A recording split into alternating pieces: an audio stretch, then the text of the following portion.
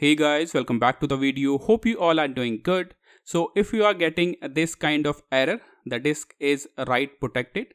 So if you are getting this kind of error on your SD card while transferring any data to your SD card, in this video we are going to fix this. So let's start the video. And one more important thing, when I'm trying to format my SD card, I'm getting the same error. So as you can see, when I'm trying to format the SD card, I'm getting this same error. The disk is write protected. So in this video, we are going to fix this. And in this video, I will show you a simple method you can use. First, you have to disconnect your SD card from your laptop. Now in your SD card, you can see this lock and unlock button. So currently the SD card is locked as you can see. Now to unlock your SD card, you have to move this button to the left side. Now your SD card is unlocked. To lock your SD card, do the same thing. Move the button to the right side. This will lock your SD card. To unlock your SD card, move this button to the left side.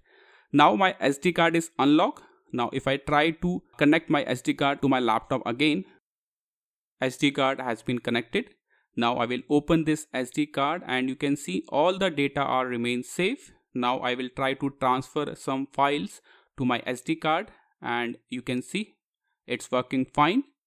Now I will try to format this SD card. So right click on it, click on format, then click on start. So this will format my SD card and wait for a few seconds and you can see the format has been completed. So this is how you can use this simple method to fix this write protection error from your SD card.